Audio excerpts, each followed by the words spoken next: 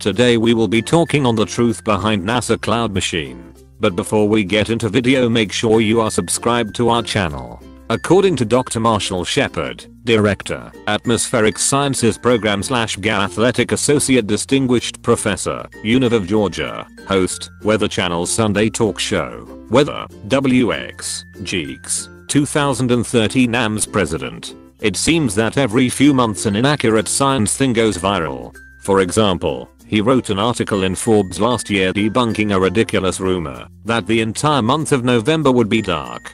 This week he have noticed a video getting around social media claiming that NASA has a cloud generating machine at one of its space centers. Wow, this is news to me considering that he was a research meteorologist at NASA for 12 years and currently chair its Earth Science Advisory Committee. He did a little research to find that similar videos and rumors have been around the internet for several years. Here is why he think it has resurfaced again and the actual science behind it. This is the image of NASA RS-25 engine test. There are many odd conspiracy theories propagated in social media that claim NASA, the federal government and others are manipulating the climate or controlling our minds using chemical trails or HAARP. If you google either of these, get ready for an interesting experience. My colleague Dennis Mersereau wrote an excellent piece in the Washington Post debunking these things he was pretty sure he received some pretty interesting emails and tweets. He suspect the reason that this viral inaccuracy has resurfaced is because NASA tested its powerful RS-25 engine on February 21st at Stennis Space Center in Mississippi.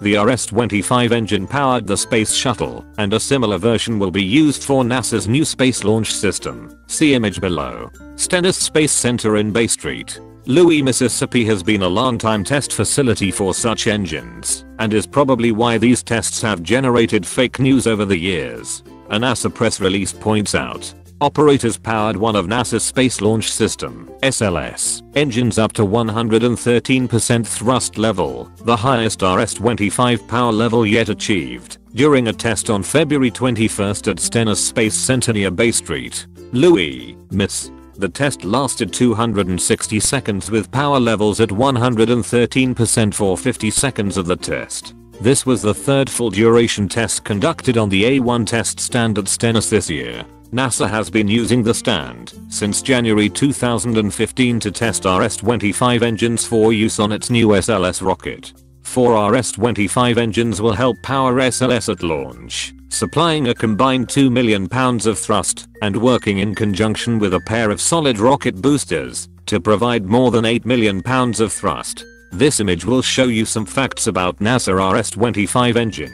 The exhaust from the RS-25 is primarily water vapor because the engine burns liquid hydrogen and liquid oxygen. Oh, guess what happens when they combine? You get H2O, also known as water. Therefore, the clouds that you see in the pictures or videos are a byproduct of a very simple scientific process. See below. If the water vapor condenses, it actually may form drops large enough to fall as liquid, or what appears as rain. By the way, it is well known in meteorology that particulates and exhausts from smokestacks and power plants can seed the generation of clouds. There are also efforts to try to introduce ice forming materials into clouds to seed the formation of rainfall. To understand these processes, read my previous article here about rain.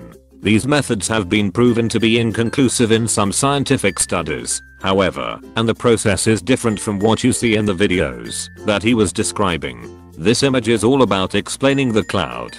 Oh, he should mention that NASA did conduct an interesting experiment in 2017 in which it generated clouds actually vapor trails in the mid-Atlantic region of the United States. This was a controlled experiment to study the ionosphere and aurora According to the NASA press release, during the flight of a two-stage Terrier improved Malemute sounding rocket between 4.25 and 4.42 am, EDT, 10 canisters about the size of a soft drink can will be deployed in the air, 6 to 12 miles away from the 670 pound main payload. The canisters will deploy between 4 and 5.5 minutes after launch forming blue-green and red artificial clouds. These clouds, or vapor tracers, allow scientists on the ground to visually track particle motions in space. The development of the multi-canister ampoule ejection system will allow scientists to gather information over a much larger area than previously allowed when deploying the tracers just from the main payload. The vapor tracers are formed through the interaction of barium, strontium, and cupric oxide.